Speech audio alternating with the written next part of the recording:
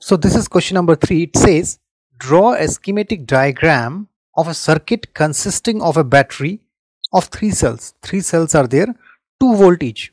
You have not studied how the batteries are combined but they are very easy just like a torchlight battery one to the other they will be added up and a 5 ohm resistance and 8 ohm resistance and a 12 ohm resistance and a plug key all connected in series you have to make a diagram that's solving this question okay so what i'll do is i'll make it like this. You have three resistances. One i'm making 5 ohm. 8 ohm. And then 12 ohms.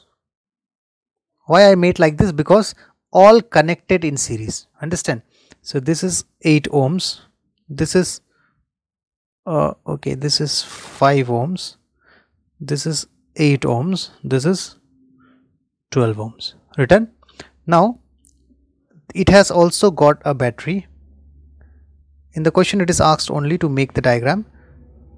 One battery. See this is one battery. This is plus this is minus. This is a good question for understanding what is battery. This is plus this is minus. Okay this is one battery. How many batteries are connected there? Three cells. Three cells are connected. So one cell i have connected. Another cell. Right and one more because three. You understand? One two three. Done. And what else? Plug key also required. That means on and off facility should be there. So this is that. Plug key means this is the diagram to show. Okay? Clear?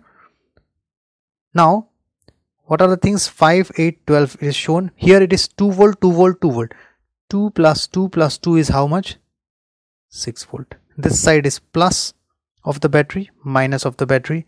Current will glow, go in from this direction. It will come back from here. It will be i here. The key is represented by k generally. So you can write k or simply key key also you can write. So this much was asked. Draw a diagram. So okay this is important.